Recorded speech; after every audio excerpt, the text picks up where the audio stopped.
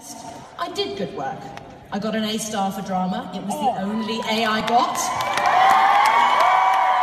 I got my A, oh yeah. But what was I going to do now? How was I going to realize my dream of being on stage? I never even dared to think about being in films. So first things first, I got a job at the same sandwich shop as my mum. That way I could save enough money each week to pay for the train fares to London to go on auditions. I didn't